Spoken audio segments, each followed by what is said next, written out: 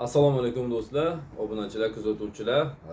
Qayta qayta e, bir xil savollar tug'ilayotganligi sababli e, bir bir ikki hafta oldin qo'yilgan videom e, bir yuz yetmish mingga yaqin inson ko'rgan ekan jonli efirda birinchi poyezd kelganini. Shu o'rinda yana qaytadan takroriy e, qisqa va lo'nda qilib sizlarga shu ma'lumotlarni yetkazishga harakat qilaman. Ungacha bittadan layk tugmachasini bosib qo'ying va tanishlaringiz bo'lsa Э, shu poyezd haqida yana qo'shimcha ma'lumotlarga ega bo'lmoqchi bo'lgan insonlar bo'lsa bemalol yetkazib qo'yishlaringiz mumkin bo'ladi. O'ylaymanki bugungi e, shuncha savollarga javob berib ham e, ortiqcha savollarga o'rin qolmaydi deb o'ylayman. Lekin baribir bizani e, xalqimizda yana savol tug'iladiyu. Savol tugamaydi ekan hech qachon. Toshkent volgograd toshkent yo'nalishi bo'yicha aytaman. Toshkent samara toshkent yo'nalishi bo'yicha aytaman. Va ptsr test kerakmi? Tojikiston fuqarolari keta oladimi? Rossiya fuqarolari. Bundan tashqari necha kilo yuk olib ketsa bo'ladi? Yosh bolalarga bilet baholari qanaqa bo'ladi? Poyezdga deport qilmaydimi degan har xil qiziqarli savollar. Poyezdni biletlarini qayerdan olishni bilmayotganlar uchun. Poyezdga poyezd bor sotilyapti kelyapti ketyapti insonlar poyezd biletini qayerdan olishni bilmaydi. Magazindan borib olaymi yo kassadan borib olaymi deyishyapti. Poyezdni jo'nash va kelish vaqtlari. Poyezd bilan boshqa shaharlarga misol uchun moskva piterga yo bo'lmasam boshqa novosibirsk yekaterinburgga poyezd yo'q o'zbekistondan. Через volgograd qanaqa qilib ketsa bo'ladi. Shu haqida ham ma'lumotlarni berib o'taman do'stlar. Demak e, kommentariyada yaxshi so'zlarni yozib qo'yasizlar va layk tugmachasini yana bir marta bosib qo'yasizlar. Demak biz boshladik bo'lmasam. O'zbekiston temir yo'llarini toshkent volgograd toshkent yo'nalishi bo'yicha uch yuz yigirma to'rtinchi va uch yuz yigirma uchinchi sonli xalqaro qatnov bor e, haftasiga bir marta shanba kunlari toshkentdan e, yuriydi. Har seshanba kuni esa volgograddan toshkentga qarab yuriydi. E'tibor beringlar ko'pchilik savol beryapti. Har shanba kuni toshkentdan volgogradga yuriydi deb aytsam qaysi chistolarga deb yana qaytib savol beryapsizlar. E, va va bo'lmasam xuddi shunaqa har seshanba kuni volgograddan toshkentga qarab bemalol ketsangiz bo'ladi. E, biletlarni olsangiz bo'ladi desam Э, qaysi chistolarga rublga nechi pul bo'ladi falon rubl desam so'mga nechi pul bo'ladi aniqlab berolmaysizmi deydi. Endi u darajada sal aqlni ishlatishga harakat qilaylik to'g'risi. Xafa bo'lmanglar misol uchun yetti ming rubl sakkiz ming rubl desa biletni so'mga nechi pul bo'ladi ekan bilmaysizmi deb savol berasizlar. O'zlariz kunda bo'lmasam o'sha rossiyada yurib rublni dollarni kursini kuzatib borasizlar. Yana shu savolni ham berib e, nima deydi ozgina vaqtni egallaysizlar. Boshqalarga javob berishga ham harakat qilyapmiz. Lekin ulgurib bo'lmayapti har xil savollarni orqasidan. Toshkent volgograd plaskart narxlari yetti ming rublni atrofida. Shu kupe narxlari o'n bir ming o'n ming sakkiz yuz o'n bir ming rubl atrofida. Xo'sh shuning uchun kupe vagonlarda konditsionerlari ishlaydi plaskartalarda ishlamaydi. Shu narsani ham e'tibor beringlar va bundan tashqari eh, e, vagonlarni ichida yo'lovchi kuzatuvchilar vagon kuzatuvchilari ya'ni provodniklarda Э, o'tgan reyslarda kelganda э, жалоба knigalar ya'ni o'sha shikoyat daftarlari joriy qilingan ekan. Agar sizda kimda kim э, vagonni ichida qo'pollik qilib huquqlaringiz buzilsa bemalol shikoyat daftariga yozishingiz mumkin bo'ladi. Xo'sh rossiya yana bugun esa Э, yana samara toshkent samara yo'nalishi bo'yicha aytadigan bo'lsam samara toshkent samara yo'nalishi toshkentdan har hafta payshanba kunlari harakatlanadi. Samaradan esa yakshanba kunlari harakatlanadi.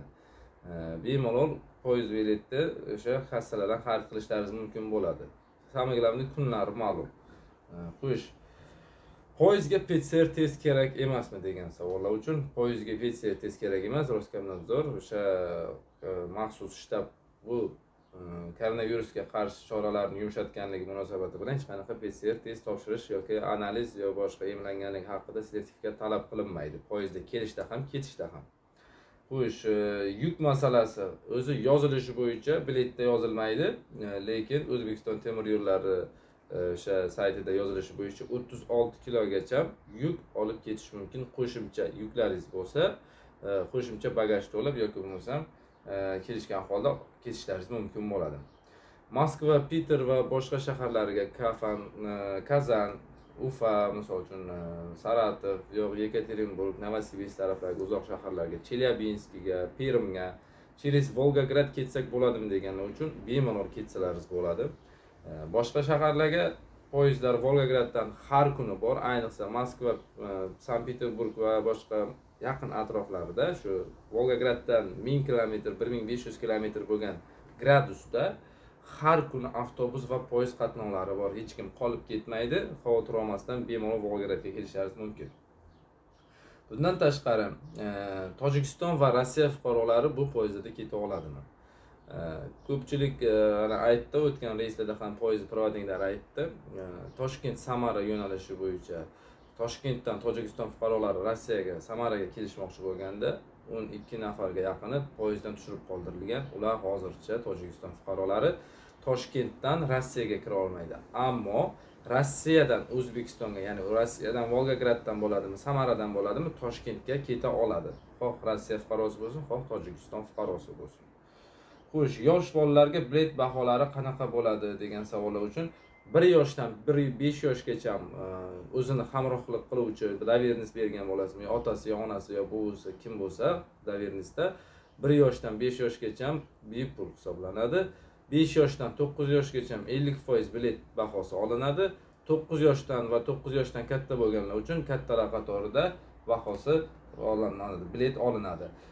Bepul deganim bilan bir yoshdan besh yoshgacha uni hamrohlik qiluvchi inson albatta unga bepul kupon bilet olishi обязательно shart chunki o'sha e, bir yoshdan besh yoshgacha bo'lsa ham baribir e, biletga ism familiyasi va hamrohlik qiluvchi insonni e, kiritilishi kerak. Poyezdda kelsa deport qilmaydimi degan savollar bo'lyapti. Xoh samolyotda keling xoh poyezdda keling xoh e, havo orqali keng dengiz orqali kelasizmi osmondanmi farqi yo'q baza bitta bitta kompyuter hamma narsa hozir e, elektron e, mana shu mashinalarda hisoblash mashinalarida hammasi bir xil amalga oshiriladi hamma narsa baza bitta bo'ladi. Uni imkoni yo'q. Samolyotda ketsam deport bo'laman yo kelolmayman yo poyezdda borsam deport bo'lamanmi kirgiz deportim bo'lsa kirolmaymanmi degan savollarni hayollaringizdan chiqaringlar hammaga bitta baza bo'ladi. Familiyasini o'zgartirib kelganlar ham hozir umuman imkoni yo'q chunki mana hozir ko'z nuridan aniqlashyapti. Отпечатки paliz olganlar baribir sizdan daktiloskopияdan o'tgan bo'lsangiz baribir bu narsa chiqib keladi familiyamni o'zgartirib kelyapman deyapsiz hozir mana e, gostumada shu yil qonunchilik hujjatlariga o'zgartirishlar kiritilishi E, munosabati bilan hozirda gen olish to'g'risida taklif kiritilgan. Ya'ni siz ism familiyangiz yuzingiz ko'zingiz kontakt linza taqib kelasizmi? Barmoqlaringizni o'zgartirib kelasizmi? Baribir endi qon olish e, tajribasi bilan shu deportni tekshirish deport haqiqatdan oldin deport bo'lganmi yo'qmi? Shu narsani tekshirishni yo'lga qo'yishni taklif qilishgan ya'ni siz qon topshirasiz shu qoningiz baza danida sizda turadi. Siz qo'lingizni o'zgartirib kelsangiz ham ko'zingizda kontakt linza taqib kelsangiz ham ism familiyangizni отчествоyingizni o'zgartirib kelsangiz ham baribir chiqadigan qilib shu sizni genetik qoningizda baza danaga kiritish niyatida takliflarni kiritib turibdi hozir gosnomaga xo'sh poyezdni biletlarini qayerdan olsak bo'ladi degan juda ham nima deydi sodda savol berishyapti telefon ham qilib aytishyapti. O'zlaringiz nima deb o'ylaysizlar? Poyezd biletini qayerdan olsangiz bo'ladi? Borib aviakassadan olasizmi yoki bo'lmasam poyezd vokzalidan olasizmi yoki temir yo'l kassalaridan olasizmi? Shu poyezd vokzalidan yoki bo'lmasam o'sha o'zingizga yaqin bo'lgan shaharingiz tumaningizdagi temir yo'l kassalaridan bilet sotib olsangiz bo'ladi. Onlayn qilib bilet sotib olsangiz bo'ladi. Oddiy narsa juda ham oddiy narsaku. Shunaqa savol berish uchun ham nima deydi? Xafa bo'lmanglaryu. Poyezdda ketmoqchisiz. Borib magazindan yoki bo'lmasam borib nima deydi telefon ustaxonasidan yoki bo'lmasam boshqa joydan bilet olmaysiz? Poyezd vokzalidan temir yo'l kassasidan bilet olasiz. Va shu o'rinda aytib o'taman. Poyezd bir soat qolganda ketishiga bir soatdan kam vaqt va bir soat qolganda volgograd vokzalidan ham samara poyezd vokzalidan ham biletlaringizni elektron biletlaringizni распечатать qilib bermaydi. Shuning uchun poyezd ketishidan uch soat to'rt soat oldin kelib biletlaringizni kassalardan elektron bilet katta juda yam katta a to'rt formatdagi katta varog'da bo'ladi. Shu biletlaringizni kichkina sara biletga распечатать qilib oldirishlaringiz shart. Chunki elektron bilet bilan e, проводный akalarimiz ozgina g'inshib turibdilar. Chunki bu juda yam неудобно va e, xalqaro qatnov bo'lgani uchun imkon boricha mana shu narsani e, haqiqiy o'sha kuponli biletga almashtirib olishga harakat qilinglar. Kassalarda almashtirib beradi u narsani. Poyezdni jo'nash vaqti va kelish vaqti volgograddan volgogradga poyezd o'sha har seshanba kuni har shanba kuni chiqadigan poyezd volgogradga seshanba kuni e, soat sakkiz yuz ellik to'qqizda yoki to'qqiz atrofida keladi yozilishida. E, ketishi esa seshanba kuni har hafta seshanba kuni sakkiz yuz nol nolda ya'ni yigirma nol nolda e, jo'nab ketadi. Mana shuning uchun ketishidan обязательно yigirma nol nolda kelsa siz где то soat to'rt beshda poyezd vokzalida bo'lishga harakat qiling. E, chunki biletni распечатывать qilib oldirishingizga e, qiyin bo'lib qolishi mumkinda xo'sh. Demak e, toshkent samara poyezdini jo'nash vaqti o'sha toshkentdan o'n to'qqiz nol beshda jo'naydi toshkent vaqti bilan. Yigirma beshinchi xo'sh e, samara vaqti bilan esa o'n to'qqiz o'n to'rtda e, tushadi. Shunga qarab e, harakat qilaverasizlar. Samaradan demak o'n to'qqiz o'n to'rtda jo'nab ketadi. O'ylaymanki savollar qolmadi. Kommentariyada yaxshi so'zlar qoldi xolos yozishlaringiz qoldi. Shunga qarab yo'lga chiqib tanish bilishlaringiz bo'lsa bemalol qo'rqmanglar. Qo'rqmanglar samiglarni man borib volgogradda qolib ketmaymanmi? Volgograddan boshqa shaharga yoki bo'lmasam boshqa moskva piter boshqa shaharlardan через volgograd o'zbekiston ketayotganimda qolib ketmaymanmi degan xavotirlarga tushmanglar. Описаниеda telefon raqamimni qoldirdim.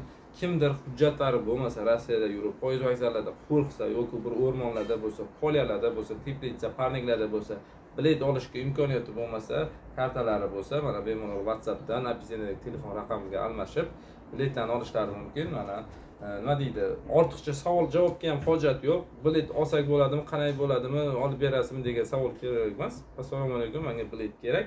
Iltimos sizdan mana shu narsani amaliy yordam bersangiz bo'ldi desangiz whatsappdan yozib pasport dangizni tashlaysiz man olib beraman. Uni yarim soat bir kunlab muhokama qiladigan juda yam murakkab bir qiyin jarayon emas yoki bo'lmasam e, bu yerda aldov yo bo'lmasam moshenство degan narsa yo'q. Sizni pulingizni olib yeb ketadigan odam yo'q xudoga shukur. Ikki ming yigirmanchi yigirma birinchi yillar davomida mana shu volgograd e, volжский stansiyasidan e, qanchadan qancha yurtdoshlarimiz kuzatib qo'ydik. Buni oldindan kuzatib yurganlar hammalaringiz yaxshi bilasizlar. Va shu o'rinda xizmatda bo'lib yuribmiz. Hech ham ortiqcha savollarsiz bemalol tashlab dannilaringizni biletlarni olib berishim mumkin bo'ladi hech qanaqa xavotirga yoki bo'lmasam qo'rquvga o'rin yo'q o'zim xudo xohlasa kuzatib qo'yib даже o'sha boshqa shahardan keladigan raspisiyanalaringizni ham aniqlab berib sizlarga o'sha reysdan bu reysga kelib kuzatib olib kuzatib qo'yaman ham xudo xohlasa. Chunki hamma poyezdlarda o'zlaringiz bilasizlar chiqib kelaman ikki ming yigirma yigirma birinchi yildan beri. Shunaqa ekan do'stlar o'ylaymanki mana shu videom foydali bo'ldi. O'ylaymanki shu videom juda ham ko'plab insonlarni foydasiga tegadi va sizlardan iltimos barcha telegram guruhlar bo'ladimi yoki bo'lmasam boshqa bir imo istoriyalar kontakt facebook bo'ladimi boshqa joylar bo'ladimi tarqatib bo'lishib qo'yinglar. Xudo xohlasa bu xizmatlarni davom ettiramiz. Yana qo'shimcha savollaringiz bo'lsa e, kommentariyada yozib qo'yinglar. O'zlaringiz ehtiyot qilinglar. Самое главное rossiyaga kelayotganlar. Birovga pasportlaringizni berib qo'ymanglar berib qo'yib turib ishlamanglar qulday bo'lib erta bir kun oyliklaringizni olayotganlaringizda yoki bo'lmasam boshqa bir dokument hujjat masalalarida falshiviy hujjatlarga uchrashib uchrab qolishyapti. Shuning uchun sizlarga ham maslahatim hujjatlaringizni o'zlaringiz oyoqlaringiz bilan borib bitiringlar.